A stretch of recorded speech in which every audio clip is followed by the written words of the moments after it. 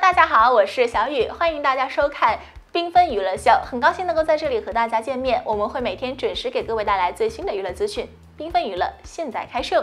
肖战获得大众的认可。日前，央华时报关于纪念曹禺先生诞辰一百一十周年特别活动的报道提到，作为当下年轻人代表的演员肖战，与从父亲曹禺手中接过衣钵的戏剧界前辈万方展开了一场文化的问询、生命的问询、传承的问询和价值的问询，进行了一场关于戏剧与人生、理想与真诚、文化与自己的坦诚对话。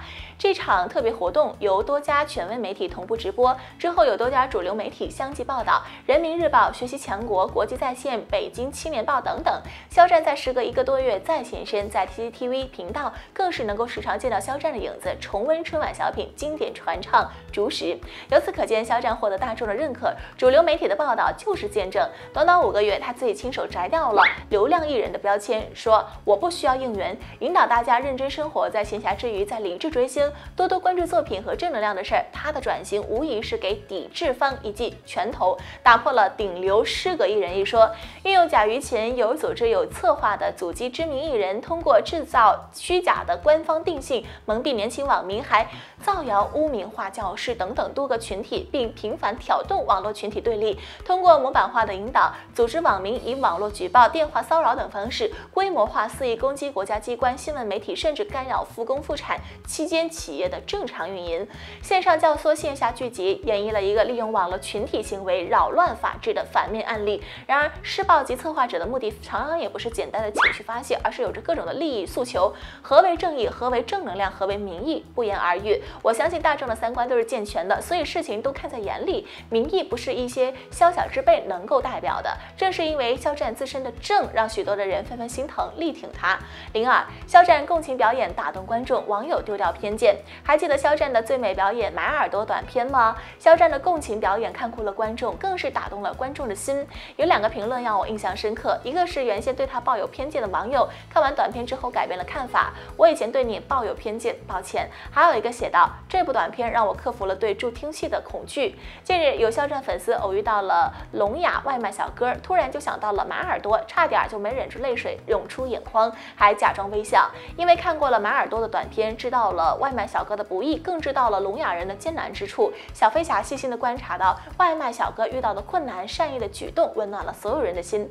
我想，就是偶像的力量，如同肖战所言，做公益特别有意义。拍完《马耳朵》，他们自发性的去做公益，其实我还蛮感动的，感觉我的价值得到了大家的认可，也得到了我自己的价值。在那么简单的环境之下，坐在摩托车上，一个人对着手机，短短几分钟就要把整个故事表达的清晰明确，还要感同身受，这更加考验一个人的演技。最美表演，当之无愧。这部短片也折射了我们现在的社会现实。表面上是一个外卖员在。和自己的亲人的对话，但实际呢，也反映出了社会基层人群的生活状态和质量。肖战用心演绎，引起了很多人的共鸣。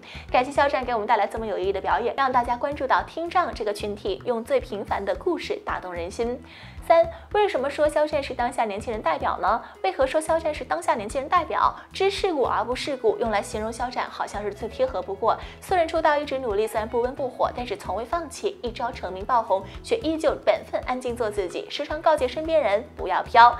非演艺类的科班出身，接受过完整系统的在校教育，有过工作经历，而且呢，因为热爱唱歌而参加了节目，大龄出道，不被公司看好，只能自己跑剧组，通过不断的努力得到了认可。素人的经历，再加上为了梦想而付出的辛苦，让肖战成为阿姨们眼中励志的榜样。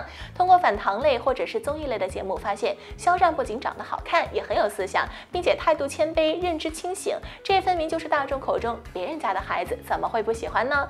岁月静好，沏一壶清茶，翻一页阅读，享受这宁静的周末夜晚。感谢万芳老师，你的文字娓娓道来，有烟火气，充满着哲理，又直击人心，有隐隐的哀伤，却又给人力量。感谢肖战先生。你的影响力让这么多人静下来读一本好书。这段时间，肖战经历这场无妄之灾，导致全网黑肖战，但是这丝毫阻挡不了肖战事业发展的脚步。看着肖战的事业慢慢回春，获大众认可，曾经抛弃他的一些商务开始重新联络他。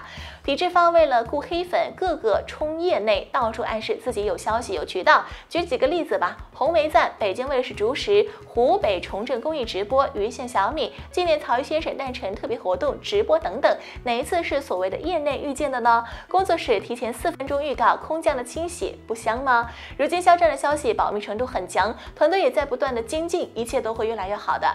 不要过分的去探讨和期待，那只会着了有心人布的局，正中下怀。该来了，他总会来。相信一切不期而遇是美好的，等待是一个很迷人的词。在肖战的身上，我看见他对爱的坚持和不怕挫折的坚韧，如竹石般，是一种向上的力量，正面的力量。吃瓜不停，娱乐不断，感谢大家关注缤纷娱乐秀。如果您喜欢我们的频道，请给出您宝贵的赞，并且记得订阅我们，同时不要忘记了点亮订阅右边的小铃铛，这样就可以在第一时间收到我们的频道内容了。我们下期节目再见吧，拜拜。